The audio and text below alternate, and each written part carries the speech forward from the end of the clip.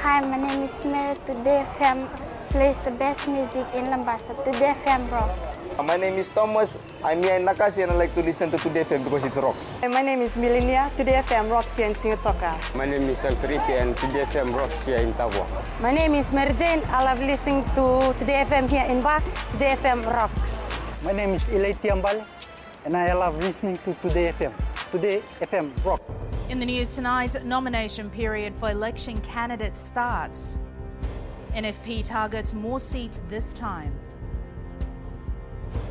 And fire destroys shops in Singatoka town. From the studios of FBC Suva, Jackie Smith. The Electoral Commission has today begun the nomination period for independent candidates and political parties for the 2018 general election next month. During the two weeks nomination, the Supervisor of Elections will check all applications for compliance and see whether they've met the requirements before a decision is made. Kelly Vavala reports. Nominations are now open until the 15th of this month, and the Electoral Commission has highlighted the requirements needed to become an approved candidate. The nomination forms are to be accompanied with deposits of $1,000 for each party candidate and $1,000 for each independent candidate. Those who wish to register their nomination as an independent candidate must also present a list of 1,000 supporters Chandra adds if any candidate wishes to withdraw its nomination, they are to provide a written notice to the SOE no later than 12 p.m. on 16th October. The objections to any candidate nominations, appeals to the decision of the supervisor of election must be received by the Electoral Commission no later than by 4 p.m. on 16th of October. Once these requirements have been met and any objections and appeals approved, dealt with, the FEO will proceed with the national candidates list. Meanwhile, some political parties will be announcing the remaining proposed candidates in a few days. We haven't announced any, but we have finalized 38 so far. And we also have uh, other candidates that we can look at. The party will be uh, finalizing its uh, candidates. I think it'll be pretty soon. The Electoral Commission says there will be two types of nomination forms, one for individual candidates and the other for political parties. Both forms can be accessed from the Fijian Elections website and the final list of candidates will be revealed on the 16th of this month. Kelly Vadala, FBC News. Prime Minister Voreqe Bainimarama says with the general election campaign picking up, the use of social media is concerning, as many politicians will try and divide Fijians by instilling them with fear and mistrust. He has again reiterated that Fijians cannot tolerate that old hateful style of politics any longer. Bainimarama says Fijians should reject those politics of division, lies and animosity by shunning any who attempt to pit Fijian against Fijian on the basis of religion ethnicity, gender, province, socio-economic status or background. Sainian Imboila has more. With the November 14 date for the general election announced yesterday, the Prime Minister says Fiji proudly stands as a nation whose electoral process is driven by a guiding principle one person, one vote, and one value. He says over the coming weeks there will be much debate between the politicians, and it is important that we all listen to what everyone has to say. Bainimarama says Fijians must always lend a careful ear to the promises and positions of each party, and above all, we must always listen for the truth and actively demand it. The PM says while these political tricks may be old, the methods by which they are spread are new Today, they are being spread with a heightening level of animosity, hatred, and prejudice, and also through social media. He adds since the last election, tens of thousands more Fijians have gone digital. They have more mobile devices and computers, more access to affordable data and internet services, and a larger presence on Facebook than ever before. Bainimarama is urging all party leaders to hold social media behavior to a higher standard, saying as a leader, it is their duty to ensure their candidates, officials, and supporters conduct themselves with the same dignity and decorum online as we expect them to in person. He says some may try to tear down our democracy by spreading lies and falsehoods. By seeking the truth, we are all actively protecting everything Fiji has worked so hard to build. Sainian Imboila, FBC News. The National Federation Party, which raked in over 27,000 votes in the 2014 election, is heading into the November 14 polls with high hopes. Party leader Biman Prasad says all 51 nominated candidates for this year's election will be finalized by the end of this week to be submitted to the Fijian Elections Office next week for screening. Akosita Tale has more. The NFP is confident of securing more votes this year from the hard work of their candidates campaigning on the ground. And many of them are in the field, many of them are talking to our people, and uh, I'm very pleased with the response that we are getting uh, from all our candidates. And uh, uh I can tell the people of this country that we are ready uh, to be the new government after 14th uh, of November. Party leader Biman Prasad says only five provisional candidates who want to run under their banner have yet to be announced as 46 others wait to be screened by the elections office. The party is also expected to release its manifesto, a living document to Fijians. Look at our policies, understand our policies in detail, debate our policies, critique our policies, and I think we've had very, very good feedback on uh, some of the major policies that we've announced with respect to TELS, with respect to reducing the cost of living, with respect to implementing a minimum living wage of $5. Meanwhile, Attar Singh has resigned as General Secretary of the Fiji Islands Council of Trade Unions to contest the election under the NFP banner. The workers and unions have suffered for too long and are crying out for fairness and justice. Clearly, all this can't be achieved without a unionist being elected to be their voice. It is for these reasons that I have resigned all my positions to stand for election so that I can advance the cause of workers. Attar Singh, during the 2014 election, roped in 716 votes, 2.65% of the total votes by the NFP. Akosita Tale, FBC News. We now cross to Akosita Tale joining us live. Akosita, we understand the NFP party leader, while making final touches to his lineup for the general election, also advised other parties about campaigning. Can you tell us more about this? Yes, Jackie Biman Prasad today called on all political parties not to campaign on fear but to campaign on facts and policies. He was directing this to Fiji First Party leader Voreqe Bainimarama following his comment yesterday advising Fijians to vote for the right party as the country cannot afford to go back to 2000. Biman claims Bainimarama was already going on a campaign of fear-mongering. However, the Fiji First Party leader told FBC News that he doesn't want to waste his time responding to allegations and claims claims made by other parties or party leaders.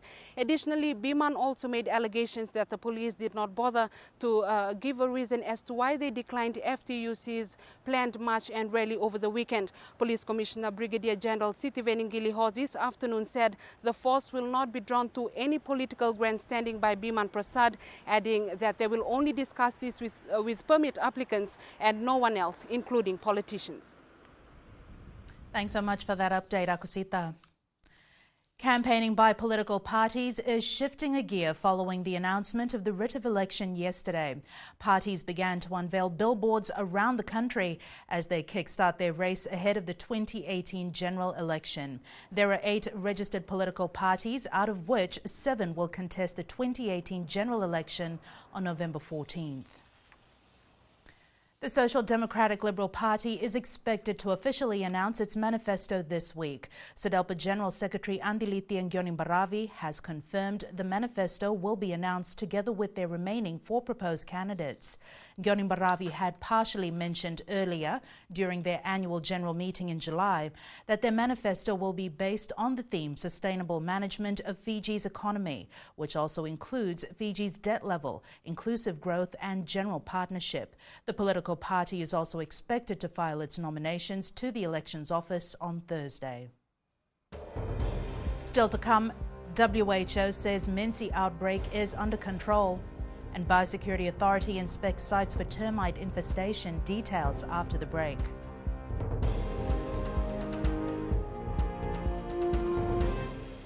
bula neva ngo malaka ile loma go ngai na kas ondo ba rong na bula fe na bando a na sere oya o ba sit sai sai lombasa ya ondo tele tai na rong na bula fm na bando a na sere guya da tumeli ko na tau no hinga toka. Tale ta kina na rong na bula fm na bando a na sere e tunga na bula fm na bando a na sere na maluan na vengo fane na tau ne ngo e singa toka kita ondo tele takana bula fm na bando ay sere Bula FM, number 2 and.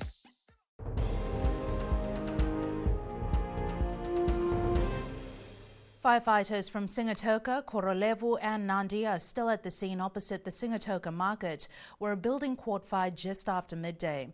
Chief Fire Officer Ngyonila Modetai says they have contained the fire from spreading further. However, Modetai says four shops, which includes Minu's, Ravendra's restaurant, home and living outlet, and Courts outlet have been destroyed by the fire. Modetai says no one sustained injuries in the incident. Investigations to ascertain the cause of fire will begin soon. Uh, we were uh, able to stop the fire at uh, Courts uh, uh, showroom. And at the moment, the boys are working on the in trying to extinguish the burning uh, materials. The World Health Organization has revealed that Fiji is approaching the end of the meningococcal outbreak declared by the Health Ministry in March of this year. The WHO says the mass vaccination MenC program rolled out by the ministry has been successful in ensuring the outbreak has been controlled. Rachel Nuth with the story. As we approach the end of the deadly outbreak, the Fijian Health Ministry cannot let its guard down, says the World Health Organization. The Ministry of Health and Medical Services is uh, ensuring that clinical specimens are being collected from the recent suspected cases to be able to actually either confirm them using laboratory tests or be able to exclude them as cases of meningococcal disease. And surveillance for new cases is heightened so that any new suspected cases are being detected early with no definite time frame given on the full eradication of the outbreak, the World Health Organization says the only way to be sure is through full coverage of the vaccination. The vaccination campaign relies on high coverage. And so that is the aim of the Ministry of Health and Medical Services. The Health Ministry is also sharing similar sentiments. Parents know if the, ch- if the child has not been vaccinated, please uh, go to the nearest health center or cooperate with our visiting teams and uh, the community health workers to ensure that we protect you and your families. Akbar is also advising the public that vaccination is not the solution and that all Fijians still need to practice best hygiene practices at all times. The Health Ministry teams will continue with its awareness program. Rachel North, FBC News. The Biosecurity Authority inspected over 1,300 sites in the first six months of this year for Asian subterranean termite infestation. With this being the termite swarming season, residents of the Lautoka and Lambasa districts are being urged to take all necessary precautions. Ritika Pratap reports. The residents in Lautoka and Lambasa, which have been declared biosecurity emergency areas of Asian subterranean termites, have been proactive and taking heed of advice. We try our best. Eh? If I see infestation in any timber, I change it immediately. Biosecurity did help us at first, but in a few years our entire house got infested. Now my son has demolished some parts of the house and we have to rebuild. The Biosecurity Authority says between July and August they made over 600 inspections. They expect more reports from the public on AST infestation or sighting. This is just raw numbers in terms of the reports that have come to us, but when we go and inspect the sites, uh, it's not the case that all of the reports are actually AST uh, issues. Gosai says upon inspection, when they find AST infestation, they administer treatment. However, it cannot change the state of damages to the structure. BAF is urging the residents in affected areas to report early to avoid major damages to houses. Ritika Pratap, FBC News. A bail ruling is expected tomorrow in the case of a 28 year old man who allegedly attempted to murder his partner by drowning her in Doloi Suva last month. Military officer Rajiv Pariachi appeared in Suva High Court charged with one count of attempted murder. It's alleged that he pushed his partner into the water and tried to drown her. The state objected to the bail application, saying there is strong evidence against the accused, and if Pariachi is released on bail, he might be a danger to the complainant. Defense lawyers said the prosecution has not provided good reasons to deny his client's bail. The matter has been adjourned to tomorrow. Fiji expects an increase in the population of older persons in the next 30 years.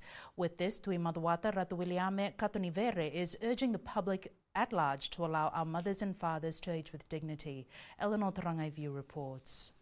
Celebration for Senior Citizens Week in Lambasa kick-started with a march through Lambasa town with the message ensuring the rights of our elderly are respected. We are asking the public to to protect that right of us and to respect it because senior citizens we, we belong to the to the marginalized group and when when anything happens disaster or when climate change comes into play we are the ones who suffer more than normal people the number of older persons, those who are aged 60 and over, is projected to grow from 69,300 in 2010 to 150,500 in 2050, while the number of those who are 80 years and older are expected to increase from 5,000 to 28,500 in the same period.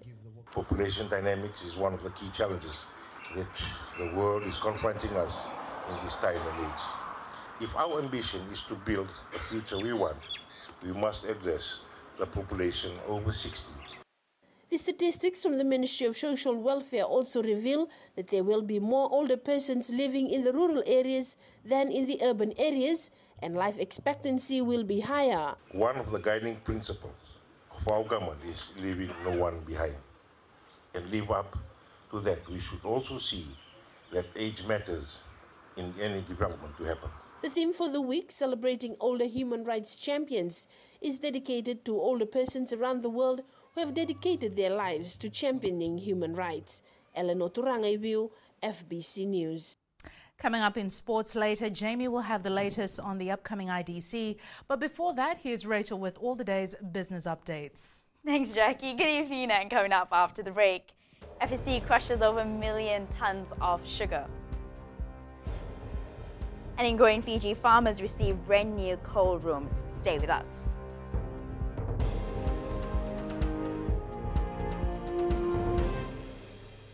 Lola, I am Eleanor. For the best classic hits, I only listen to Gold FM here in Singatoka. Gold FM, only the classic hits. My name is Seni Rawa. I love listening to Gold FM here in Nosuri. Gold FM, only the classic hits. My name is Dino. I'm from Outrigger, Coral Coast, Singatoka. I love listening to Gold FM. Only the classic hits. My name is Salote. I love listening to Gold FM here in Nosuri. Gold FM, only the classic hits. Bula, my name is Marida. Gold FM plays the best classics here in Outrigger, Singatoka. Gold FM, only the classic hits.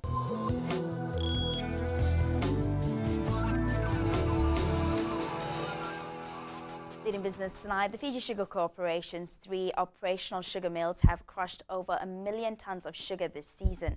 FSC Chief Operating Officer Naveen Chandra says 1.01 million tons of cane has been harvested and 107 tons of sugar has been made.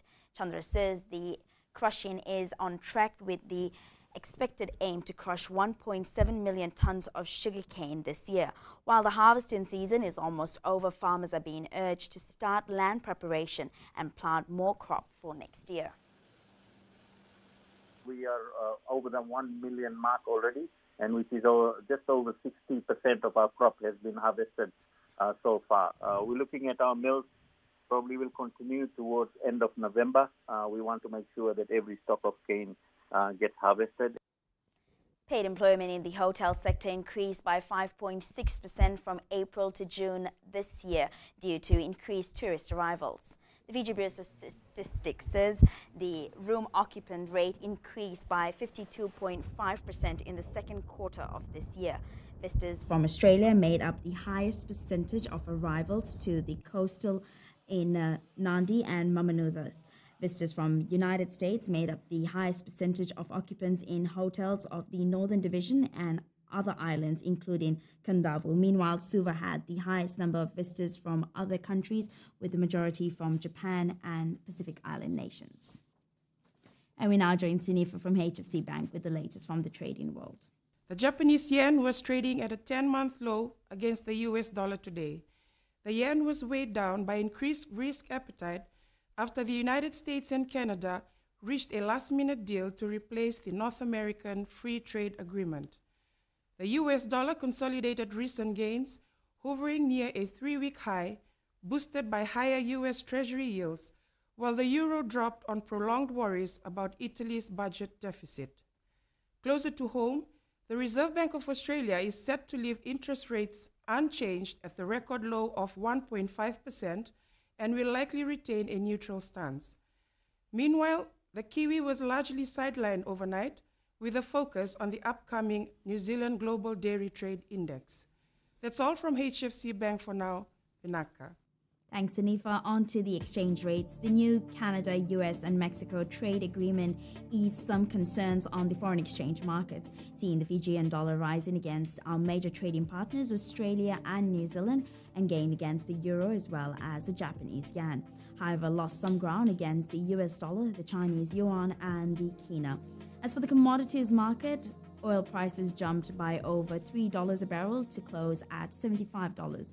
Gold was up more than $5, closing at 1,189 per ounce, and silver gained as well, closing at 1450 per ounce.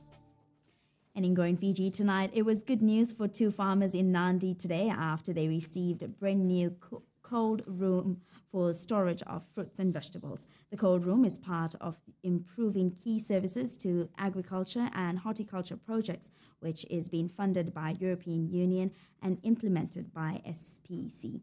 Felipe Nakaso has more.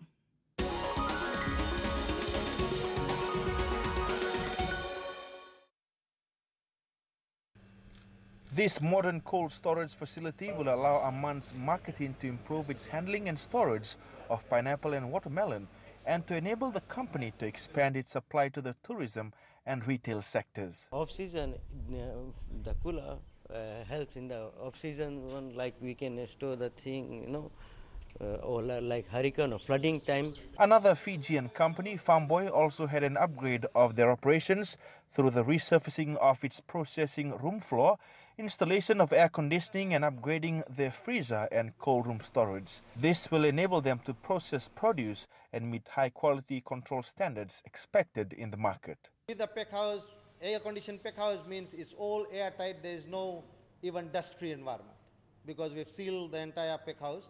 You can see there is no windows around. Right? So we, it means dust free and temperature controlled. We're looking to make sure the Ministry of uh, Agriculture's extension officers can continue to provide the training that is necessary to produce high quality produce, so which we can hopefully replace imported produce with. $30,000 was the cost of the cold storage facility for Aman's marketing, while Farmboy received a $50,000 upgrade. Felipe Naikaso, FBC News.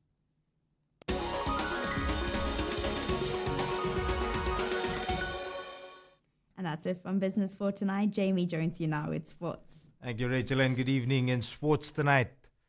Veitokani tipped to compete for Flying Fijians number 10 jersey. And Nasinu ready for IDC. This and more after the break.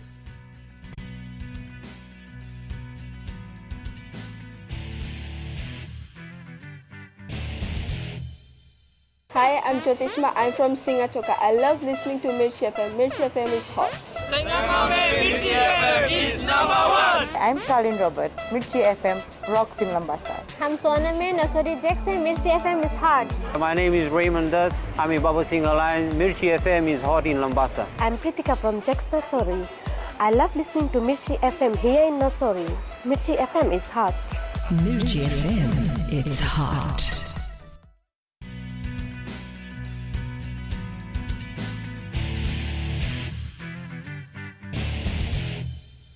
Fiji Airways Drua fly half Alivereti Veitokani and Lock Albert Tuisue have been confirmed for the Flying Fijian squad that will prepare for the November tour in Europe. John McKee says he is impressed with their current form and believes they have the potential to represent the nation at the World Cup in Japan next year. Marcel Prasad reports. There is an open challenge for Fijian Drua Stali Freti Veitokani to step up and don the Flying Fijians number 10 jersey. He's really got to step up and, uh, and, and challenge Ben and, and you know believe that he can be the number one, number ten for, for World Cup. So that that puts him in the best in the best mindset. After his recent performance in the National Rugby Championship, Flying Fijians coach John McKee has no doubt Veitokani can perform at the international level. McKee has also been impressed by lock Albert Tuisue. And I see him as a genuine lock slash back row option, possibly for the Flying Fijians. While the Drua are on track to seal a home semi-final, McKee says the match against the Canberra Vikings this weekend will be tough. I think the Vikings will will gift them as much ball. I think against the Vikings they'll have to they'll have to work a lot hard. Drua coach Senirusi Seruvakula has been impressed with their performance and believes they will be ready for another tough encounter. For the lineout, it's a big uh, step from the our first game. It was 43%, and uh, second game was 54, and then the the last uh, game in uh, Mackay, uh, the game in Mackay was 63. The Drua plays the Vikings at 3 p.m. at Churchill Park in Lautoka on Saturday. Vashnil Prasad, FBC Sports. 88 teams are expected to take part in the 4th Christian Mission Fellowship International Sevens in Lambasa from the 25th to the 27th of this month. The tournament will run in three divisions, men's, women's and the under-19 men's competition. CMFI Macuata Regional Secretary Simeone Ngusui Valu says there are also teams from Vitilevu confirmed for the tournament. Last year, the, uh, it was uh, McDonald's Sonaga. They are going to come again this year to defend the title uh, with a new name of uh, Westfield. And uh, there are other teams, uh, likes of uh, Police and uh, uh, Hydro Naita Siri, Newborn Wemasana from Naita Siri, Cross of Victory, uh, First Light uh, Taviuli. And we are expecting other teams like uh, the Wardens and uh, some other big teams. The newly promoted Nasinu football side has taken on the underdog stag for the Courts Inter-District Championship that begins Friday at ANZ Stadium in Suva. Making their return after eight years, the side admits it will be tough mixing it up with the big guns, but they aren't undermining their own capabilities. Vashnil Prasad has more. The former winners know it will be a tough ask from the opening whistle. Once known as the Giant Killers, the side has signed eight players to strengthen the team. Expect the players to deliver whatever they have got uh, for us uh, come this IDC. With the veteran players like Dinesh Mudliar, Nathan Kumar, and Usaya Tandu, the side has also been boosted with the inclusion of goalkeeper Alzar Alam, Safinada Balain Rokanroka, Armani Manu Manubai, and Manasa Levadi in the team. expectation is high from the officials and as far as the fans. So I'll give in my 100% and I'll make sure that we do something this IDC. Coach Nathan Shivam, who won the tournament as a player with Suva, is keeping a low profile going into the championship. We might not be able to see the full strength of this team uh, currently, but uh, come future, we can expect a lot of things. Nasinu has played in the IDC final four times, having won in 1990 when they defeated Suva 1-0 via a Tomovania goal. The side begins its campaign against Lambasa at 3.30 p.m. on Friday. Vashnil Prasad, FBC Sports. An under 15 rugby league team from the Northern Inland Academy of Sports in Australia is in the country to play two matches against development teams in Nandi. 21 players are part of the team that will face the Sambeto Roosters tomorrow and then the Storm under 15 side on Thursday. Um, yeah, I don't know really what to expect to be honest because I've never seen any of the boys from here before, but I'm expecting pretty good footy, pretty rough, um, hard footy, pretty tough, um, fit boys, you know, big athletics. So we want this to be an, an uh, annual event whereby uh, we will get um, netball, uh, soccer, and then uh, establish uh, a sports relationship with um, NIAS to bring a rugby league uh, on an annual basis. That's it from sports tonight. Join Angie later on with weather and then new media. Figures revealed Snapchat user numbers are dwindling. Details coming up.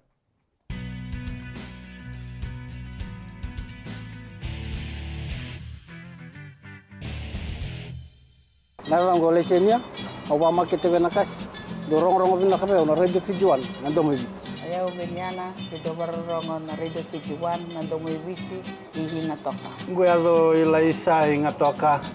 Rongorongo binana hera makawa ina e radio fijuan hinga toka. Radio Fiji One nanti fijuan nandomoibiti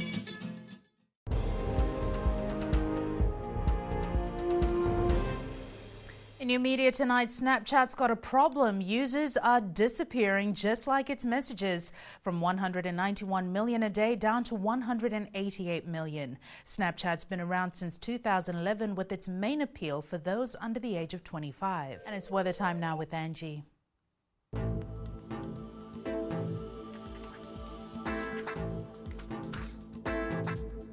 There, and welcome to the Weather World. Another overcast day for most of the country. However, stormy weather is moving in, and a heavy rain alert has been issued. More on that in a moment, but first, moving on to the western side, incredibly beautiful light showers will swing by tonight. Eastwards from Pakaba to Suva, more of a gloomy and breezy day today.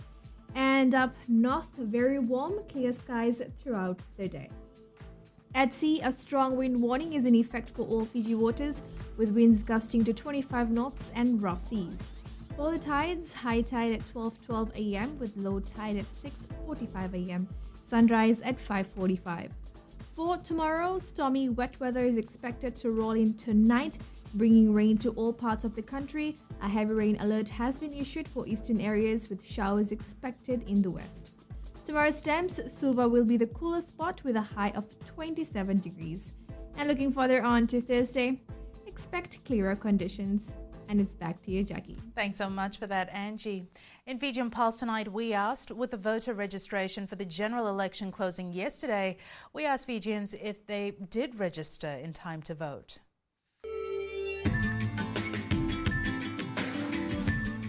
Uh, yes, it gives me the freedom to choose uh, which uh, government should uh, lead, the, uh, lead the country. Yes, I have registered and I want the next government to be led by God. I'm already registered for the general election for this year, 2008. I'm going to use the same card that I used in the last elections because I have not changed my address. So, in saying that, I will cast my vote in the same place where I cast my vote in the last elections. Yes, I have registered already and I am ready to cast my vote in this year's elections. Yes, I'm registered there. And I'm going to vote. We want a new, good government.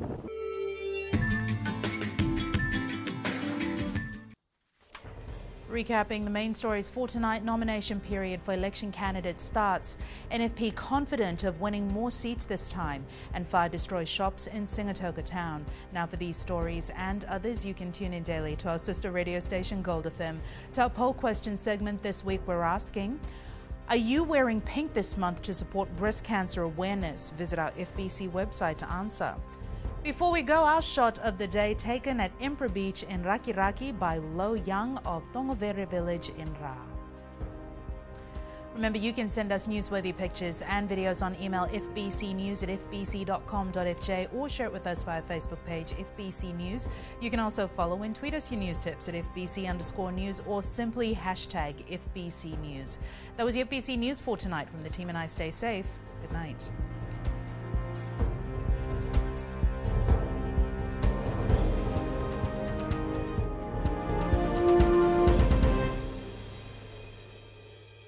मैं नवनीत नंद नम्बुआ से जैसे प्रेनी note मशहूर है वैसे radio Fiji to भी सभी जगह मशहूर है। रेडियो फीजी टू देश की धड़कन। सीमा नकाशी से मैं रेडियो फीजी टू पसंद करती हूँ सुनने के लिए। रेडियो फीजी टू देश की धड़कन। मैं हूँ अंकल किंग सिंगटोका टाउन के टैक्सी ड्राइवर जैसे रग्बी फ़ेमस है वैसे रेडियो फिजी टू फ़ेमस है। रेडियो फीजी टू देश की धड़कन।